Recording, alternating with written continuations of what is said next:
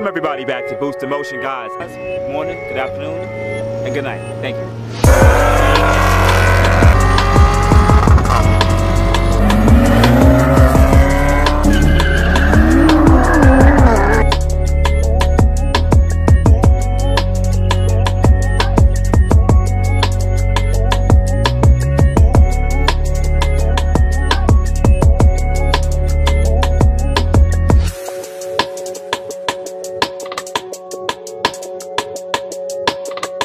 Welcome everybody back to Boost in Motion guys and today I want to talk to you guys about my experience at Mod to Fame's Roll Race event and how much I really enjoyed it. Um, but also I wanted to give you guys some tips and trips that I uh, tips and tricks that I learned along the way this journey. So if you guys don't already know, I have a full bolt-on, I would say full bolt-on, exhaust mods, and 93 tune Q50 VR30. Now, my car should dyno somewhere around 440, 450 wheel horsepower, pretty much a 500 horsepower car, which should be a relatively safe tune. Now, I took it, this this uh, track event was delayed four months, so I was supposed to be racing from April, which was a lot colder, it was a lot, lot more colder. So my car would have been faster and every other car would have been faster there. But moving forward, it was delayed four months and now I raced in July. It was about 95 degrees to this day, so it was super hot. Number two, um, the DA was really high about 3,000 and we're I think we're about two about thousand foot above elevation or above sea level. So it's not the per perfect conditions to do drag racing or any road racing. Now um, one of the things I noticed with this car is um, it will heat up really fast like any car would. But one of the tips that I learned is number one uh, you have to keep the AC on. Here's why I say what I say when you keep the AC on when you're not racing, you're running the car, that cools all the engine. That brings down the coolant temperature and that brings down the oil temperature. And what I realized is that after one pull, the coolant temperature will relatively won't go really too high because you're only doing a roll race or a dig race for about 10 seconds. And you'll hit like 210, 220, maybe 225 to the coolant temperature. And the oil temperature will start going a little hot to 215 maybe 220 right? But it will come down relatively quick because you'll park the car you let it run and then you turn the AC on. This kicks the fans on and it cools down the motor. If you didn't kick the, the AC on what I realized is that the car would intermediately turn the fans on and off to to try to cool off the car. That takes too long. So that was the number one point I noticed there. It brought down my coolant temps to right around 108, 185, 190, even in 90 degree heat. That was actually good. Now, moving forward to other fluids. Heat exchanger fluid. This is for this is the this is the coolant that is for the heat exchanger system for the turbos. Pretty much you run excessive boost, that boost gets hot because you're compressing air and it's forced into the motor. You don't want that nation. So these intercoolers, what they do is take the heat from that air and put it in the coolant, heat transfer. What I realized is that usually your heat exchanger coolant would be about 10 to 20 degrees above ambient. Because it was a 95 degree day, my heat exchanger coolant temperature was right around 105, maybe touch 100 sometimes up to about 110. This is just the car sitting, right? After doing a pull, you guys know that I have an upgraded Burger Tuning heat exchanger. I'm running that in line with a, uh, in circuit, excuse me, right, circuit, yeah, with the stock OEM heat exchanger. And I also have an AMS Bender tank coolant that, uh, tank that adds about almost two gallons of coolant to the system. Now, what I realized is that the coolant temperature will start getting hot. I mean, once you do a pull it will come from 105 to about 120, maybe 125. But it never really went back, got up higher because even though I came back around, I was pretty much hot lapping the car. It never really went above 125, 130, which means that it has good consistent cooling from me driving the car, racing the car, cooling from the heat exchanger, pretty much bringing the, the temperature down. But even then, that's still too hot of coolant that is too hot, still too hot. That's that's you could put your hand in that and be like, oh, this is kind of warm. So you're also losing performance by, by, by that. And I realize I realize is that you can never get that coolant uh, coolant any cooler. Now you guys know that I'm working with Killer Chiller uh, to install a Killer Chiller kit. The Killer Chiller kit is pretty much it uses the refrigerant from your AC system to cool down the coolant to your heat exchanger system you can get temps as low as 30 to 40 degrees. So in the upcoming videos, I would hope that I have it installed.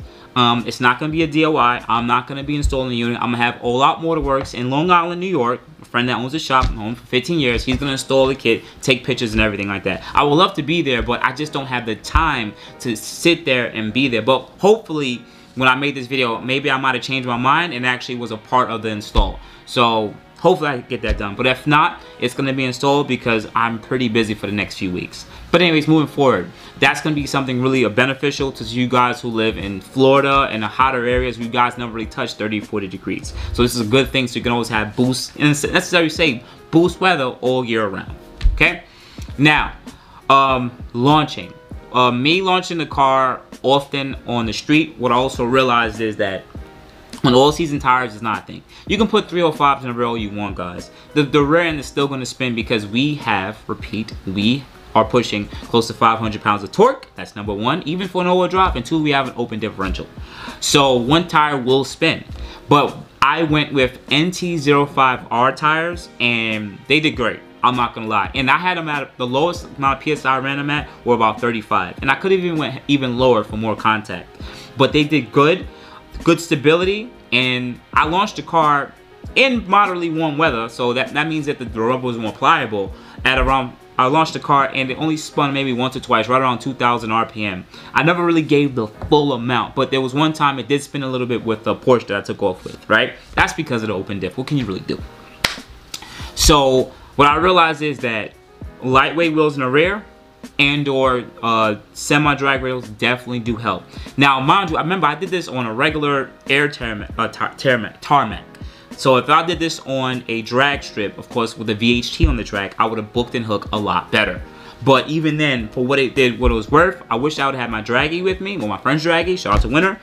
Um, I would, I noticed that once I launched and I got to the end of the strip, I was doing, I was clocking right around once 118, 117 uh, miles an hour. So that lets me know that I'm still running the same amount of consistent mile an hour I would be at the track even when I'm launching on the street, which is good even in 90 degree weather. So I'm pretty happy about that. Now, I'm off the coolants, off the traction and everything like that. Um, the car was still running good. I looked at my data logs. You guys know that I have I have both an EcuTek, I'm EcuTek Tune. Um, I didn't datalog with that. I did a quick dialogue with the JB4 because it displays it as a graph and lets me know the timing and stuff. And that's just a quick way and a quick reference of knowing what's going on. The EcuTek uh, software isn't that good enough for me to just look at it and just know what's going on. So I did a uh, datalogs with the JB4 and the car was running good. It was coming up to 15 degrees of timing, it even a little bit more. And it was doing what it was supposed to do. Uh, and everything was good. The fuel trims were good and the car ran good. So, what I learned is, when it comes to the drag strip, out the hole, um, the car did pretty good. But we're gonna need more cooling.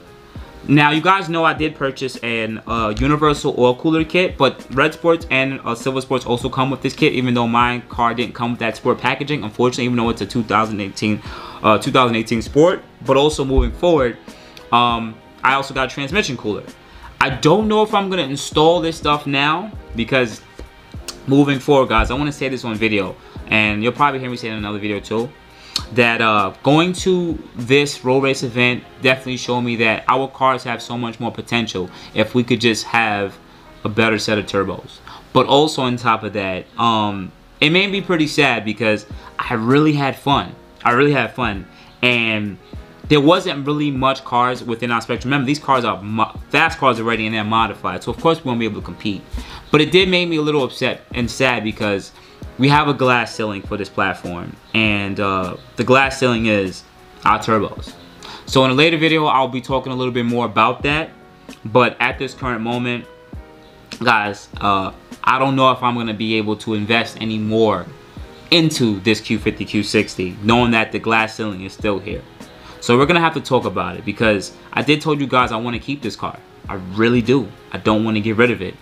But if something doesn't change within the next, I would say six months in this platform where we can get rid of this glass ceiling, I'm to have to get rid of this car. I may not keep it. Yeah, guys. So otherwise than that, guys, if you enjoyed my videos, hit the like button. I know I gave you guys sad news. Doesn't mean it's sad. But definitely hit the like button, comment below, tell me what you think. You get me up at Boost Motion IG, Boost Motion Facebook, and Boost Motion on gmail.com. Also, on top of that, uh, if you want to support me, support the channel, support the VR30 community, uh, I have a Teespring account below with digs only, period. But also, I have a few other novelty shirts that you guys might enjoy and might want to wear. Definitely check them out. Um, also, for some of you guys who have asked, who've been donating to the channel because you want me to grow this ceiling. Because without you guys, I wouldn't have come this far. I have a cash app at Money Sound Boost in Motion. So otherwise than that, guys, you have a good morning, good afternoon, good night. Thank you. I appreciate you guys so much. I love you guys.